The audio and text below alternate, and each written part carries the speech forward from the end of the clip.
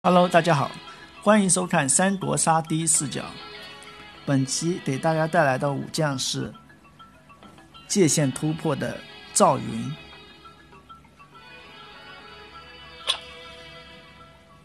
本期教学视频之后，还是给大家带来丛林单排系列，就是这个排位排位赛。丛林单排是这样的，无论输赢，都得大都得大家放出来，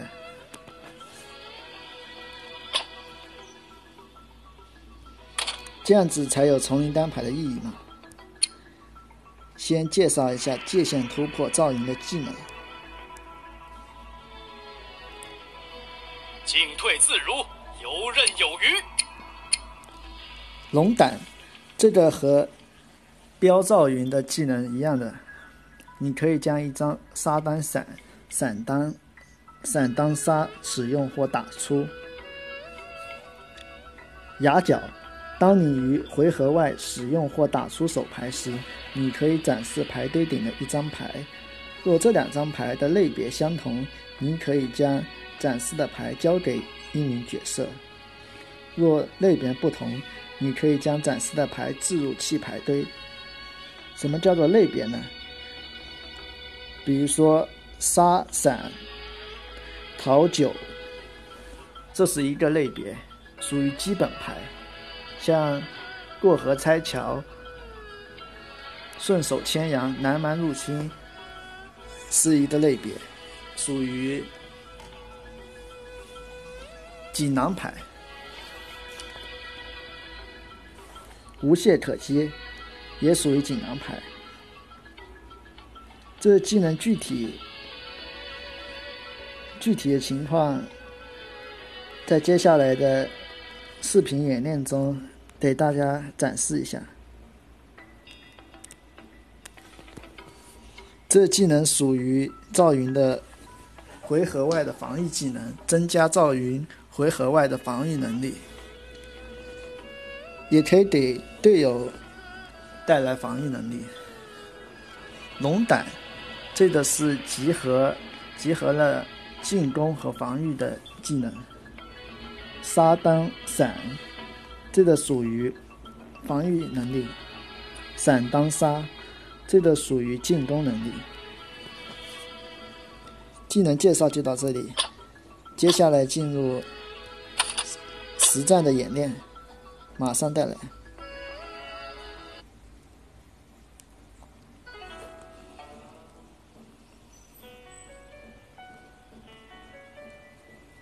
选到了反贼，借赵云，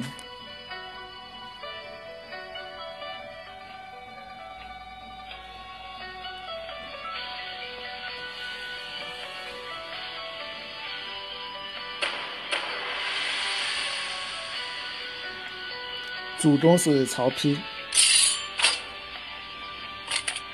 五谷丰登，曹丕五谷。曹丕选择了，他会选什么呢？拿了无中生有，其实我觉得拿桃更好。王毅拿了桃，因为他是个卖血的武将，拿桃更适合他。我选了杀，因为赵云对赵云来说，杀和闪的重要性优于锦囊牌。因为龙胆和牙角都是要靠沙和闪来触发的。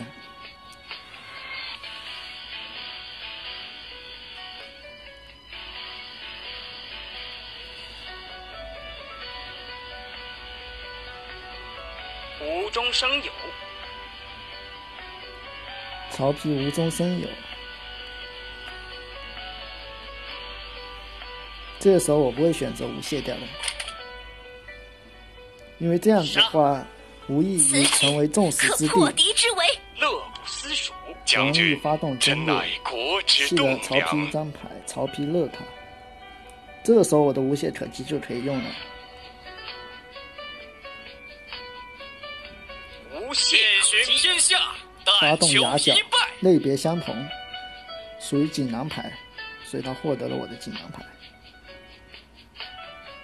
我主要留一些基本牌，沙伞、沙和伞，比如沙和伞善。巡天下，但求一败。这个时候沙和伞就不属于同一类别，一个是基本牌，一个是锦锦囊牌，所以严刑峻法，没什么也。没发生。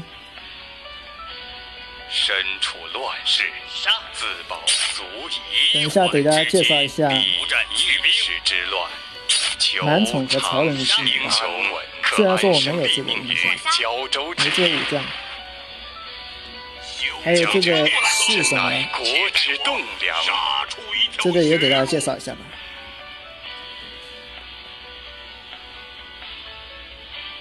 避一时之乱，这这个字求还真不认识。不要见怪。我我之所以没有放南蛮，是因为怕曹丕放逐王毅，小心一点为好。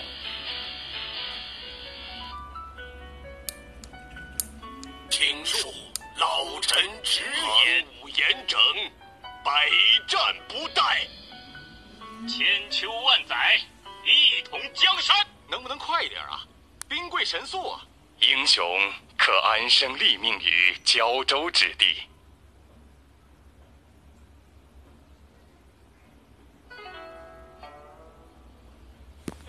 攻，此计可歼敌精无锐，中生有。不懈这样的话，曹仁可能是忠臣。英雄可安身立命于胶州之地。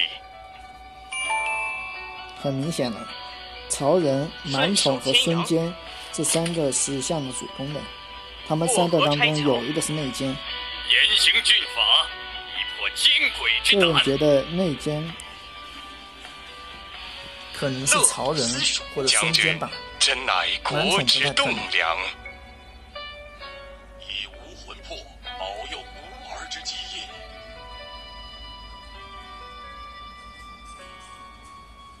不过我有有可能是孙坚，能不能快一点啊？满宠兵不太可能，贵神速啊！除非他不会玩。今当稳固内政，以英雄外可。安身立命于胶州之地。曹丕装上了朱雀、人王盾。曹丕主动的话，最好不要激活曹丕，因为他可以放逐，配合忠臣或者，内奸。要杀就要把他身边的忠臣。还有内奸，全部干掉，这个时候就可以激活了。跟孙权主不一样，孙权主的话，激活孙权会最好。这是四丢鸡蛋，铁索连环，大概是因为我拿了他的八卦阵，南蛮入侵，丢这么多，杀。有点小无语的。杀，以就拿了个八卦阵而已，不战驱兵，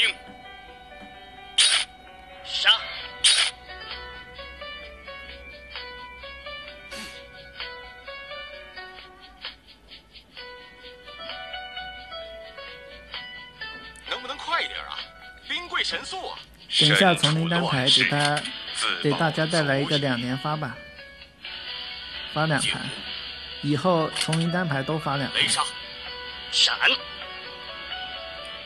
这是四九杀曹仁，不过很不明智，看他这么多牌，铁索连环，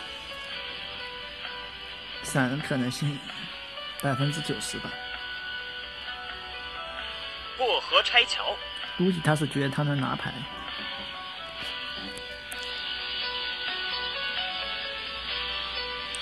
避乱，摸牌阶段开始时，若有角色与你距离为一，则你可以放弃摸牌。，然后其他角色计算与你的距离加 x，x 为场上存活势力数，这是增加他和其他英雄的距离的。李夏，这是锁定技，也就是说无论如何必须发动的。其他角色结束阶段开始时若你不在其攻击范围内，你选择一项摸一张牌招，另起摸一张牌，然后其他角色你以距离。减一，这个是可以减小。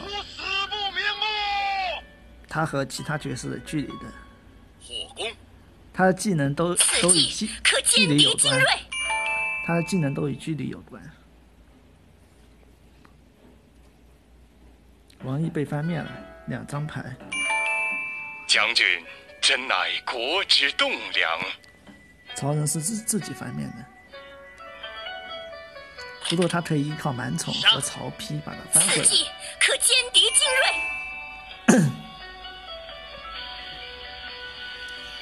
弃了曹丕的马，我装上将军将军。真乃国之栋梁，身处乱世，自借刀杀人我这个时候还是要，主要是帮队友，因为我没距离，没距离。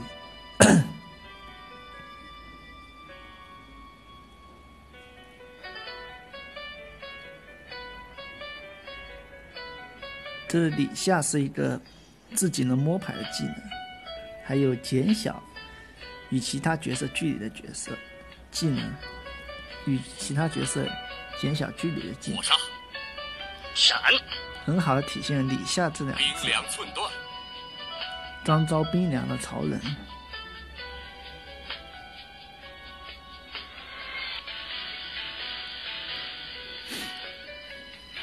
张昭英弃了一张雄九，可安身立命于胶州之地。顺手牵羊，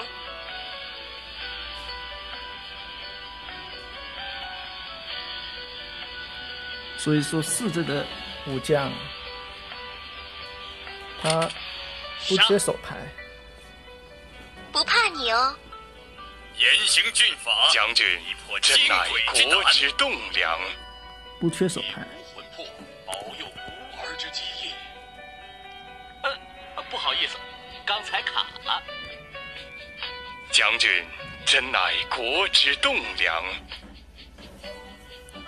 铁索连环，无懈可击，无懈可击。反贼很明显的，王毅我将军这个真乃国之栋梁。我们四个身处乱世，也自足矣。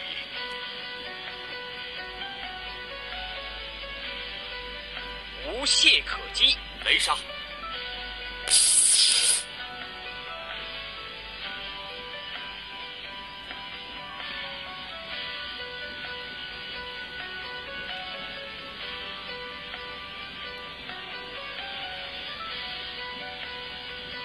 雄可安身立命于胶州之地。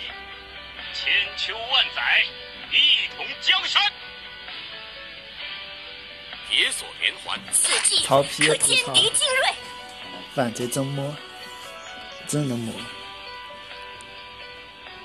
我有张策桃马，驱前，战敌不一样。，展示的牌是技能牌，冰凉，和我的桃基本上不一样。不过我还有张牌，闪，英雄可安身立命后面这个于王毅是自己自。杀死掉的，所以说主中方拿不到拿不到三张牌，这就是新王毅的好处了，他可以自杀，有点像倒塔的屠夫，屠夫也是可以自杀的。比如说你觉得有的时候不行了，你可以自己争略自杀掉，不让你的对手拿到牌。可破敌之围，我还有张桃，遍寻天下，但求一败。春，我获得了妙手回春的称称号。曹仁说好慢，确实有点。这这里都十一分钟了，其实我还加快一点了，当时好像快二十分钟了。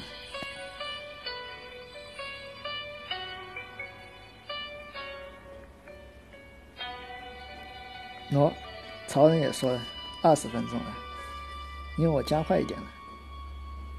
英雄可基本上打一盘三国杀胶州之地。至少也得花十几分钟吧。反正我打的时候是这样子，除非是排位或者这个斗地主，也就三个人打的那种。无懈可击。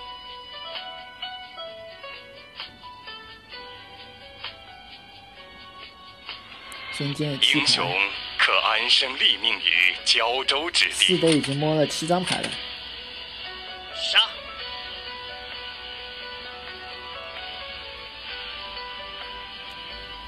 此举可破敌之围。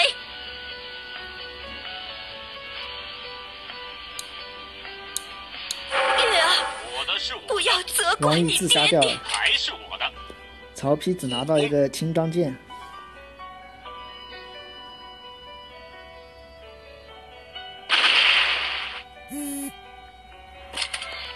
张昭变成一颗血了，礼义这是个时候我之装了乱，八卦阵，这把对治反贼来说现在有些危险。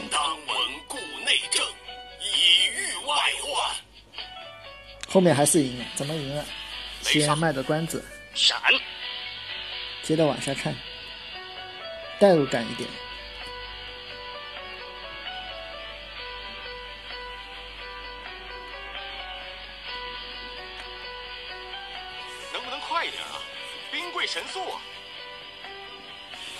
超人有些不耐烦了，将军真乃国之栋梁。火杀！蛮宠火杀张昭，我们都没逃，他也没酒。卧龙出山，还是严刑峻法。这个时候大家可能以为要惊鬼之输了对吧？可安身立命于接着我们就赢了很有戏剧性。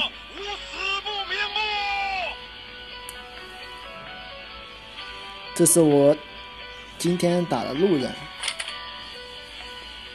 英雄可安身立命于胶州之地。铁索连无懈可击。也是今天刚开出来的介绍九营。杀！我一般刚开出来一个武将，都会忍不住打一把路人的，九进退自这如，是我的特游刃点。有余。他必须得英雄，可安他掉身立命两颗血很亏的胶州之地。过河拆桥，自保对我来说，杀就是闪，闪就是杀。火杀！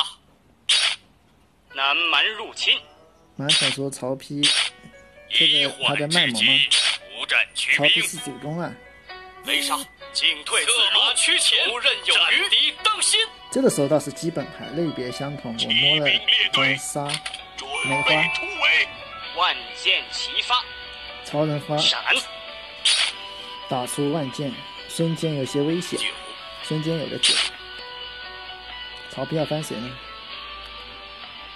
给我翻过来！翻了孙坚，孙坚摸到两张牌，我有八大阵，乐也是判定正确火杀！曹仁是内奸，内奸跳了。如果他这次不跳，我们要输了。援军为何迟迟未到？还是满场是中英雄场，孙坚这么说就是中场了。于胶州之地。出一条血路。内奸不跳，我们就打壁柜，龙威恶打驱前，斩敌破阵，当心！类别不同，济囊牌。将军真乃国之栋梁。我装上年弩，闪！杀！他看翻谁？翻孙坚。我再来一下，看看有吗？没有。我完成了七进七出。好，也是比较艰难的拿下了胜利。我接下来带来排位赛。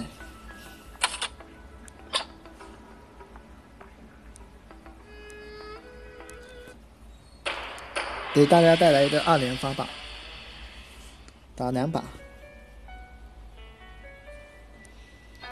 哦，那个技能打完之后给给大家介绍一下。我选了借下侯惇、黄月英，对面是马超和孙策。孙策要注意他不要让他一血觉醒借着血线杀！对他的控制，哪个敢动我？无懈可击。最好控制在两血以内，伤我者，然后尽。快秒掉。福生于清简，德生于悲退。雷杀！五谷丰登，孙策拿了决斗，都是决斗。王允拿了九，吾乃江东小霸王杀一下孙伯符。杀！杀一下，孙策掉一颗血了。孙策装了白银狮子，过河拆桥，马超拆桥，拆了黄银两张牌，决斗了一下，应该后面没输出吧，要不然早就杀了。过河拆桥，我拆掉一个九，他应该没杀！我火杀他一下，我装马，另外两个没有装，给对面一点一种，神秘感。玩三国杀有的时候就应该这样子，有的时候你不要刻意的露出自己的装备，否则你很容易被人家拿走、顺走啊、拆掉。能不能快点啊？有的时候你哪个不装敢动我？比较好，南蛮入侵，因为这种游戏你不露出来。有些不让别人看到，卧龙出山。别人就捉摸不！透你的心里！到到底在想什么。所以说，像那种，展示手牌的技能，必须要慎用。比如说寻幽那个！不怕你哦。别人看到的话，说不定有就有办法针对你了。这时候我没用杀，为什么呢？因为杀一下，他肯定会故意卖血，喏、何惧于天下？因为他想觉醒。孙策还是觉醒。杀了，黑杀了黄月英。这个时候我看一下他的牌，一张伞，然后我弃掉伞，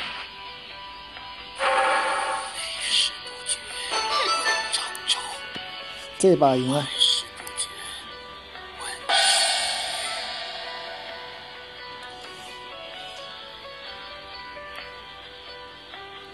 好，接下来是第二把，马上带来。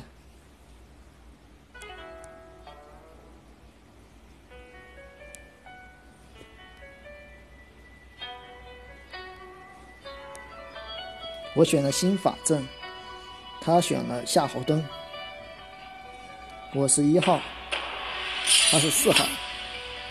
邓艾，说实话，我看着邓艾打排位赛挺头疼的，打他也不是，不打他也不是，十倍奉还。挺头疼的。郭嘉也头疼，郭嘉你别看他三颗血，其实还是挺顽强的。报之以礼，还之其实以。那个时候我我有些失误，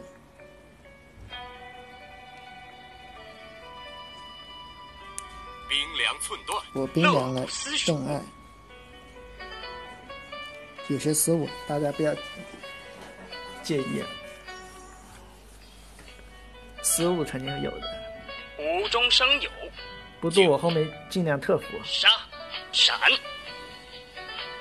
可能我不太了解这个新法阵的技能机理，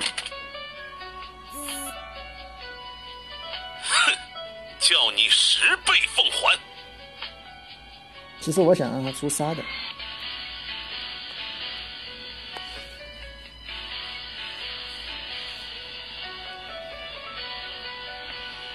八卦阵肯定不能拆，不能拆。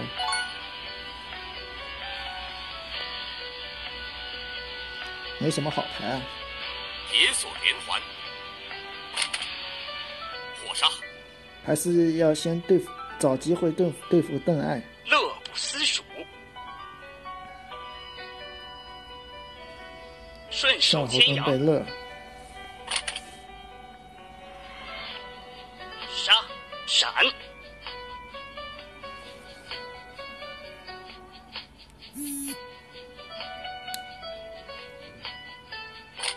装了加一码，气闪。我发现我这把遇到的摸到的闪特别多，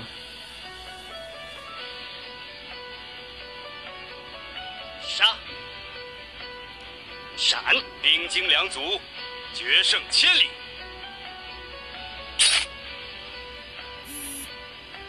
哼，叫你十倍奉还。看看他会不会杀了。报之以礼，还之以桃。他摸了个无懈。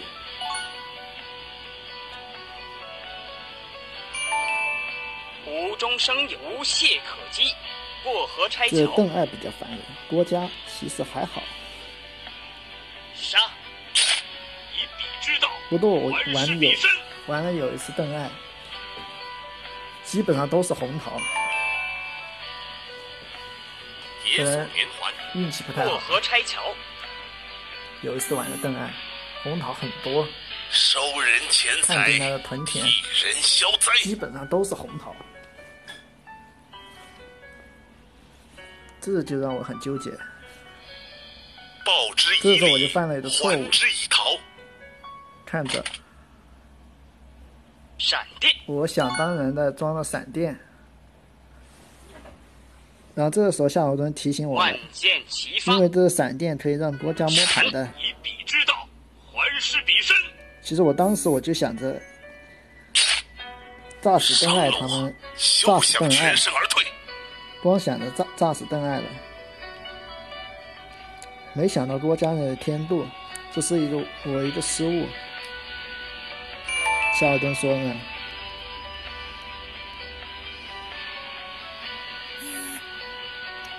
无懈可击，收人钱财，替人消灾。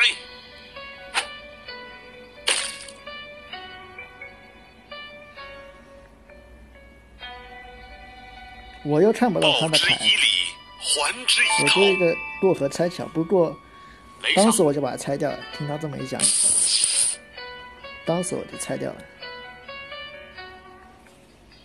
也是弥补了我的错误。这个要跟大家讲一下，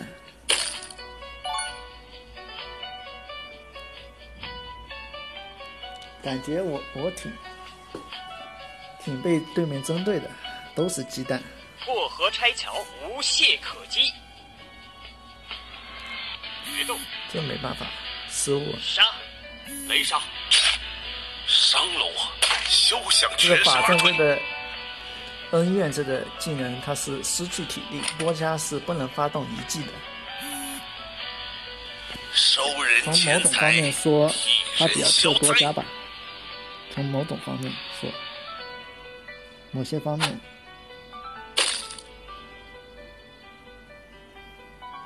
我都摸最后两张牌，他摸了个铁手。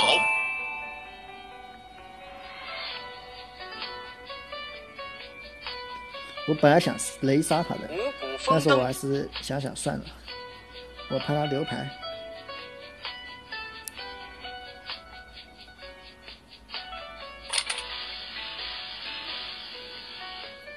杀，闪。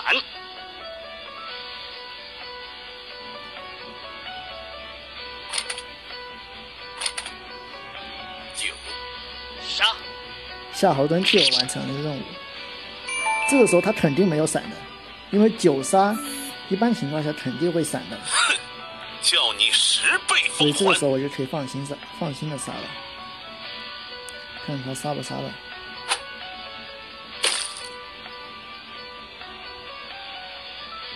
摸到了杀和闪，报之以礼，还之以桃，没杀。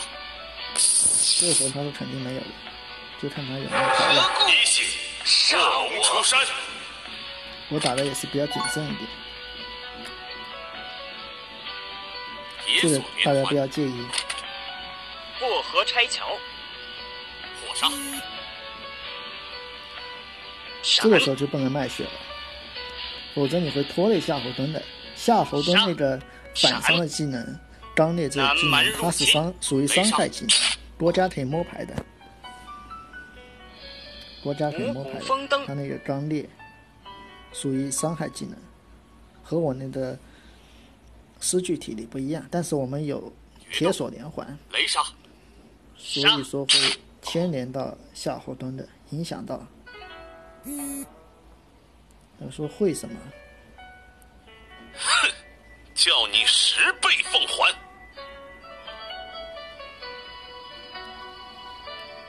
其实我是不怕多家打我的，我这个恩怨这个技能比较特别。杀，闪，顺手牵羊。这个时候局势就比较明朗了。南蛮入侵，鼠辈竟敢伤我！这个时候我果断要卖血。伤了我，休想全身而退。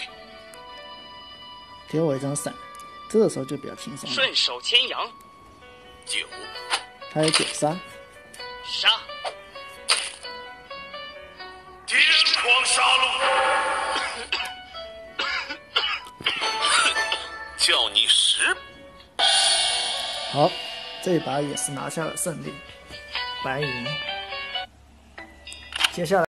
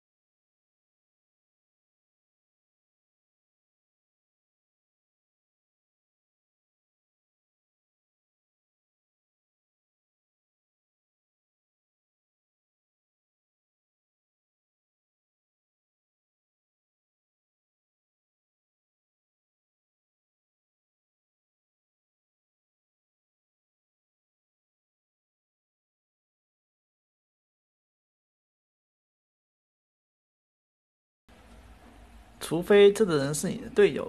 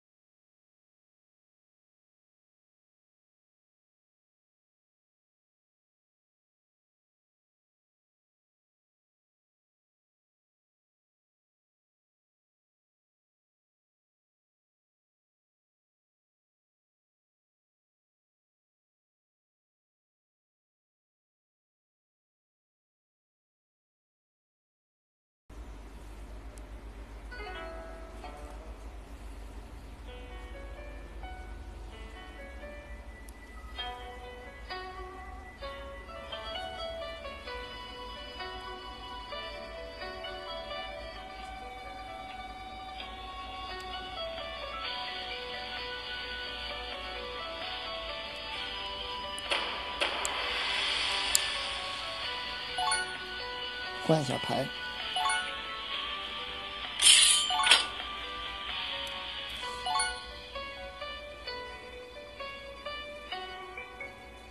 过河拆桥，决斗，杀一下。呃，先等一下，等一下，先介绍一下，看看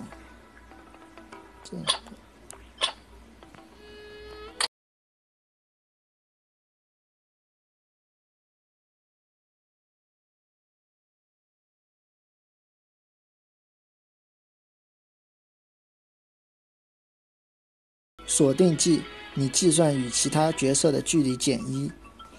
铁技，当你使用杀指定一个目标后，你可令其本回合内非锁定技失效，然后你进行判定，除非该角色弃置与结果花色相同的一张牌，否则不能使用闪响应此杀。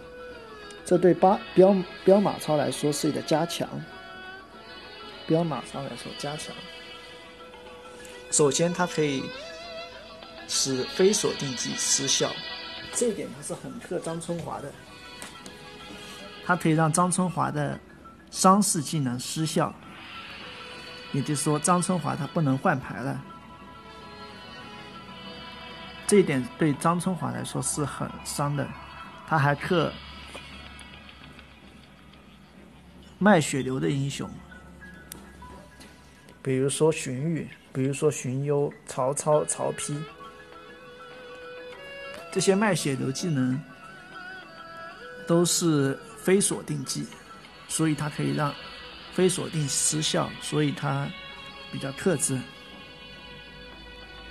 然后它让剑马超的杀的命中率更高，因为剑马超对你出杀的时候，首先是铁技。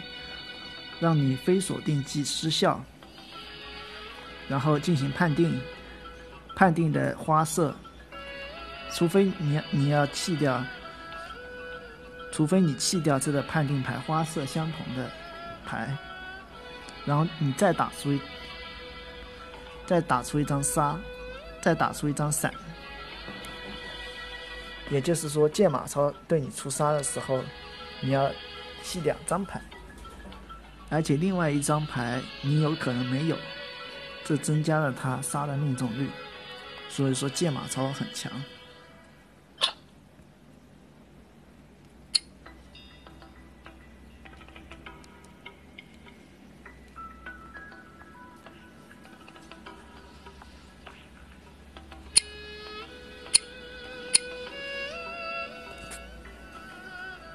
庞德、马谡这个不介绍。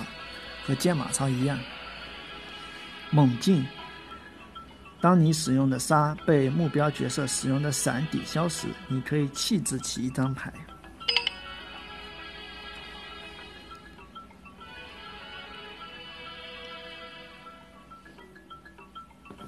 其实这个武将。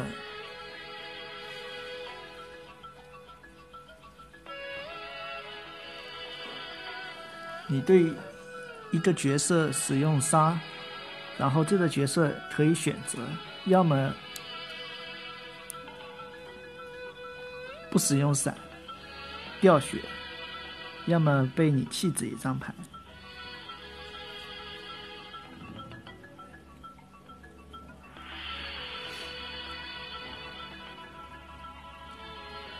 如果对方，如果你，如果对方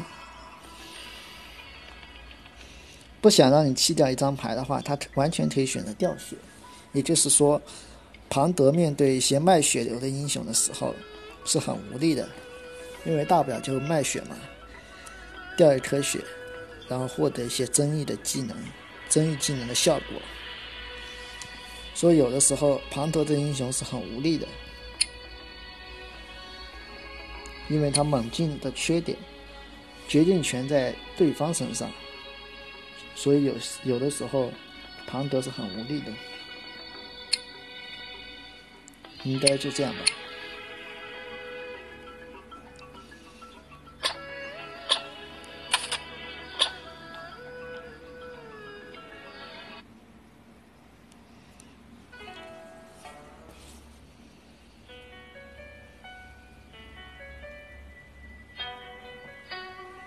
选到了反贼，借马超，主公是新王义。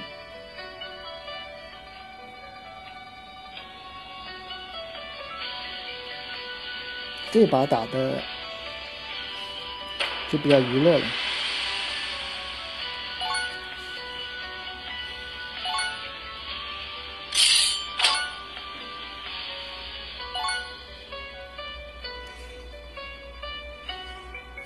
看到的牌都不是很好。那这样的话我就有点危险。杀一下。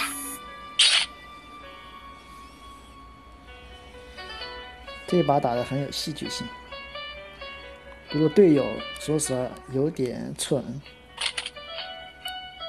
过河拆桥。借马超因为他这个铁骑的技能比较阴霸，所以他南蛮入侵。仇恨敌敌方的仇恨值很高，雷杀。这也是为什么主公只杀我，不杀张飞的原因。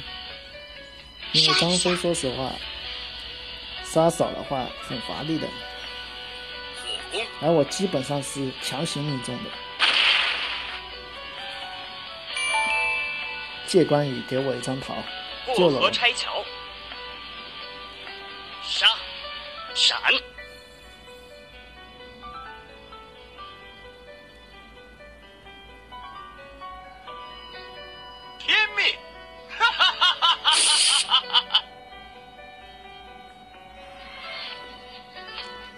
这样看起来的话，司马和借关羽 反贼。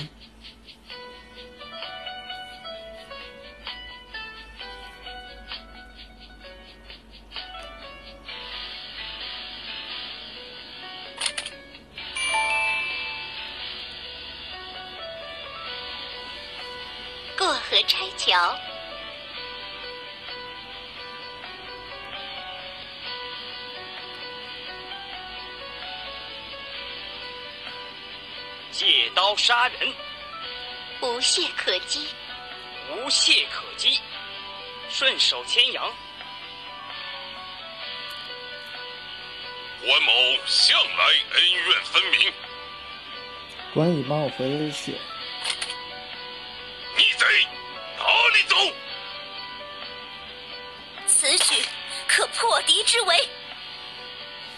关羽这个一绝是可以帮队友回血。无中生有。出牌阶段限一次，你可以与一名其他角色拼点。若你赢，该角色不能使用或打出手牌，且失去所有非锁定技。这跟借马超的铁骑技能很像，都是失去非锁定技。不过他有。要求，这要求还是比较高的。你必须要拼点赢，若你没赢，直到回合结束。若你没赢，你可以令该角色回复一点体力。顺手牵羊。刚才借关羽就是用一绝子的，他没有赢我，所以他让我回体力。借关羽、司马，我属于反目标阵，全军突击！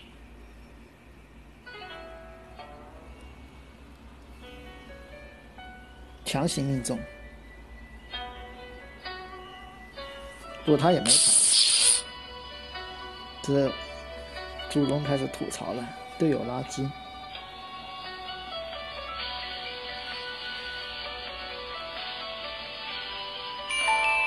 孙尚香有逃，我装了白银狮子和加一马。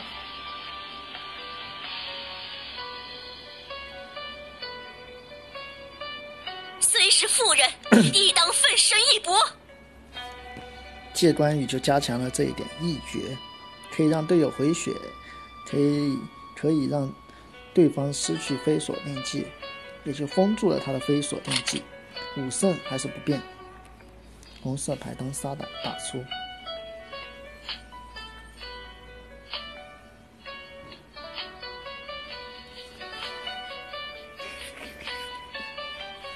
新张角也是反贼，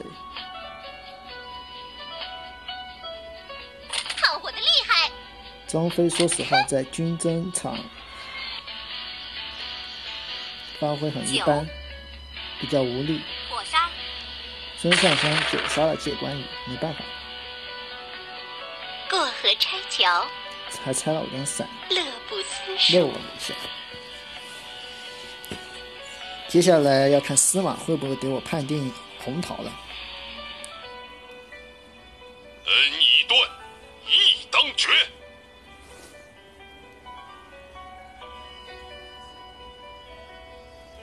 不过没什么用，就弃一张牌而已，此计可歼敌精锐。看看有没有桃了。陆逊给了一张桃，弃了一张司马的方块。接下来判定的时候，司马做了一件事情，让我差点晕过去。看好了，这次我是红桃，司马要判了，喏，差点晕过去了。当时我看的，其实后面结束以后，司马是反贼，前耻，不惜吾身。这是张角就开始骂司马了，确实让人很无语。关键是这司马还是反贼，和我一样，这就属于吃力不讨好的事情了，有点坑。当时他判定以后，判定了黑桃，当时我就慌了，把我坑死了。孙尚香脱管了，铁锁连环，万箭齐发，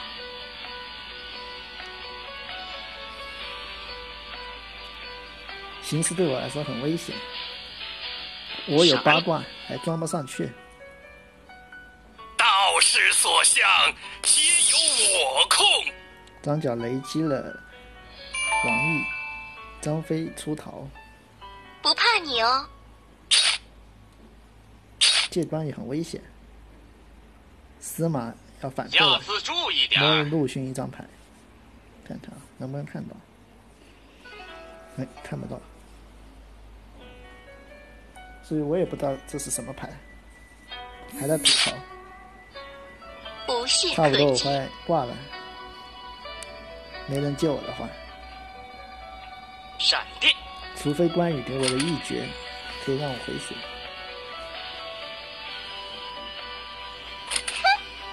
雷杀，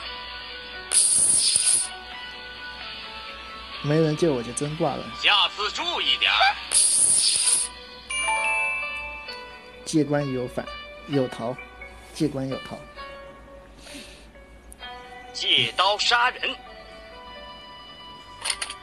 刀锋所向，战无不克。借关羽，此举可破敌之围。王毅争烈了，弃掉了借关羽的青龙。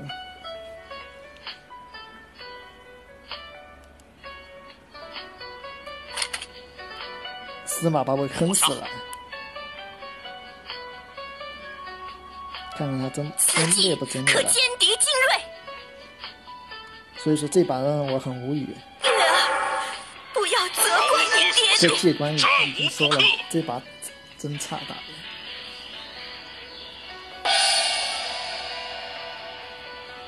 这把就让人无语了。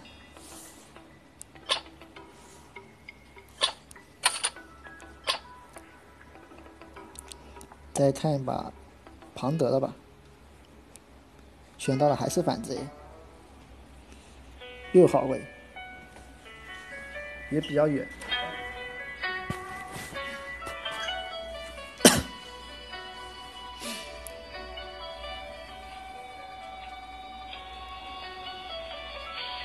刘备主攻，我选庞德。其实庞德的技能，说实话，有的时候真的很尴尬的。遇到卖血流的话，卖血流完全可以选择掉血，完全可以掉血。其实我旁都不缺距离的，我装了减一码以后不缺距离的。火杀，闪。遇到卖血就很尴尬了，因为决定权在对方身上。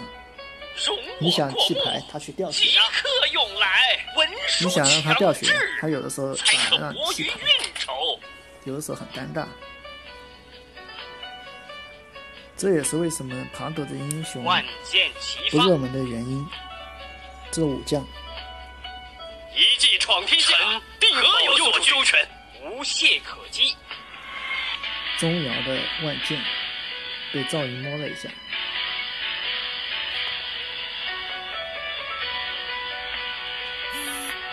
闪！我出了闪，现在我们无懈可击。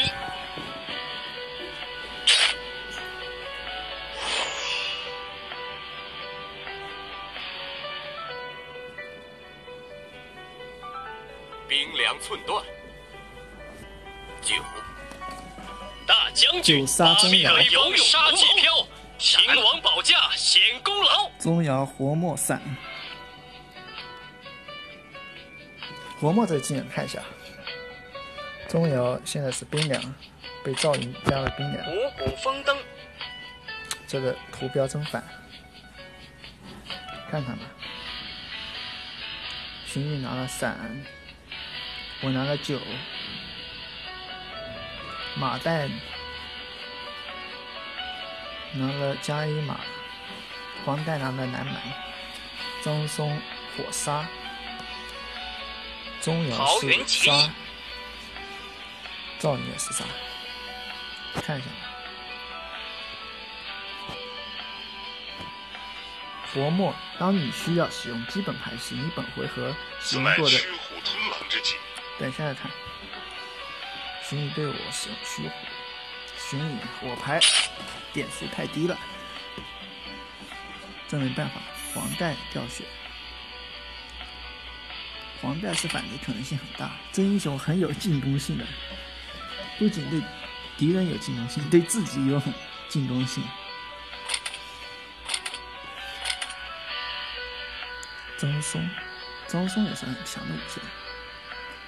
边吃我吧，边吃我吧，攻击，决斗，杀，雷杀，蜀将何在？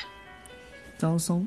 强制出牌阶段开始时，你可以展示一名其他角色的一张手牌，然后本回合当你使用与展示的牌类别相同的牌时，你可以摸一张牌。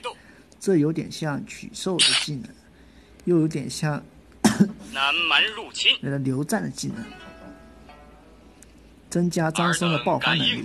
线图，这是一个辅助的技能，辅助你的队友，但它有着负面效果。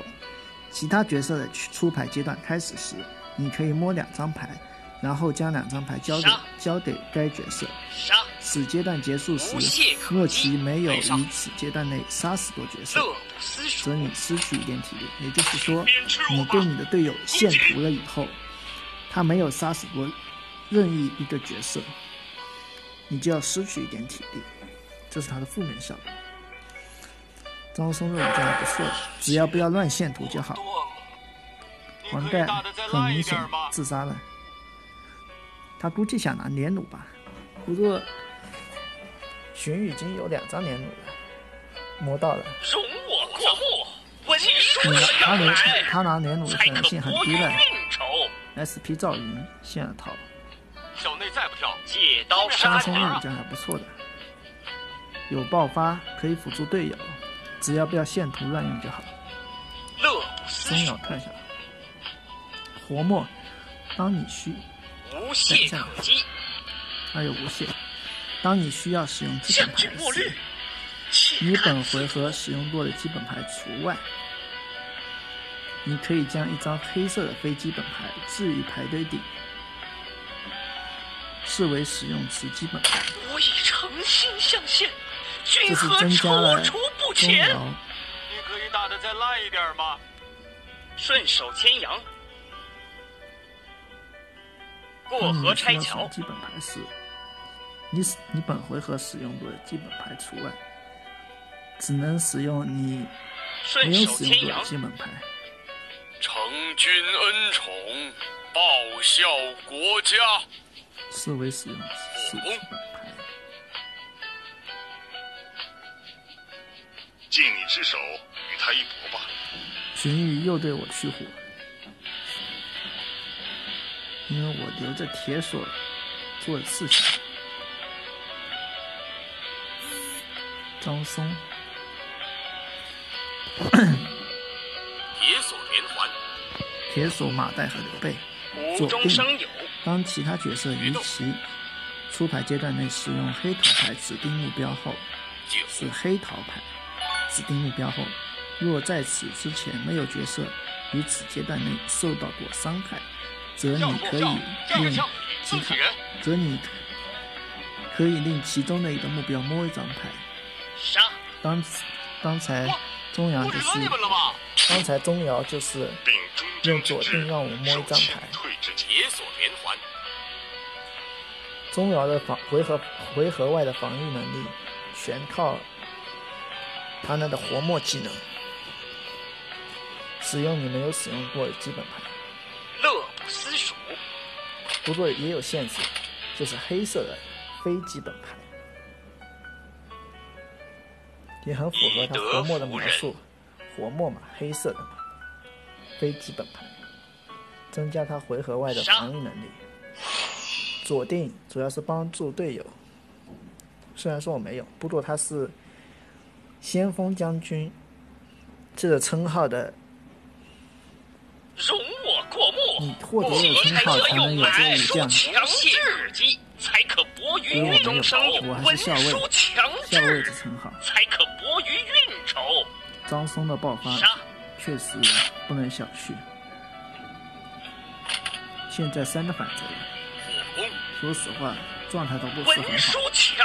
我没有杀才可博于运张松一。颗血，钟瑶还被乐了，两张牌。张松的使用大概跟沮授有点像，跟沮授有点像，还有就是刘赞，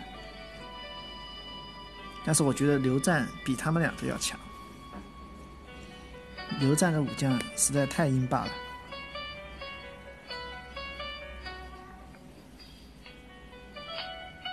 过河拆桥，承君恩宠，报效牌，国钟家瑶。对自己使用左定又对我。使用驱虎。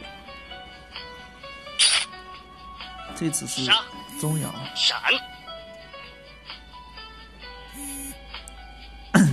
将军墨绿，被我此图。雷杀，大将军，臣岂可有大周所周丢盔卸甲。我以诚心相献，君何踌躇不前？皇叔不听吾谏言，悔时晚矣。喊什么喊？我敢杀你！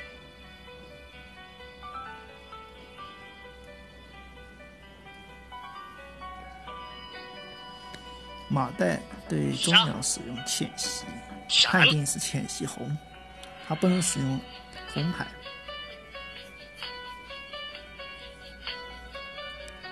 借刀杀人，马岱对陈玉发动了使用杀，为贤为德，能刘备对荀彧。马岱说什么？顺手牵羊，马无中岱说生有。他寺内。妙笔在手，杀！研墨在中阳对刘备用九杀，利用活墨的效果，卧龙出山，对吧就这么赢了。笔墨写春秋，感觉挥毫退万敌。感觉陈毅这英雄确实不怎么强吧，确实不强。